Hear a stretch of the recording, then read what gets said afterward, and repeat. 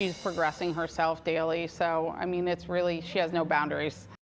This Norton mom has a lot to love today when it comes to her daughter's improving health. In October, Emma Pfouts collapsed at her homecoming dance and spent months in a coma. And as Andrew Horansky explains, today she's awake, talking, and even reading Valentine's. Christina Weigand calls it a miracle. Yeah. Her 16 year old daughter, Emma Pfouts, once asleep in a medically induced coma. Good girl, Emmy now awake and communicating, eye gazing on an iPad which moves a mouse. And she moves it to whatever she wants to say on there. So the first time she said, um, you know, I'm fine, let's go home. So her personality keeps coming through.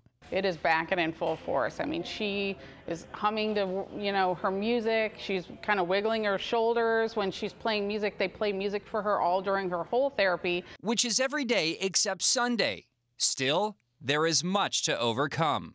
So we did ask her um, kind of if she knew why she was here. She said she knew why she was here. She said asthma, her asthma. Um, she remembers, and then we kind of stopped her because we don't know eh, how traumatizing that will be to her to have that conversation anymore. While the conversation today centered on love and support, Emma receiving piles of Valentines, even a visit from a therapy dog, all paving the way to the day she comes home which is still far off. Now, her mom says the next big milestone will be getting Emma to sit up by herself, and she hopes, of course, she will walk one day. She turns 17 next week, and there is now a campaign to send her birthday cards. She's already hearing from people as far away as Australia and New Zealand. If you would like Emma to hear from you, Sarah, there is a link at WKYC.com for how you can write. She has inspired so many people already. We just hope her progress continues. All right. Yep. Thanks, Drew. Sure.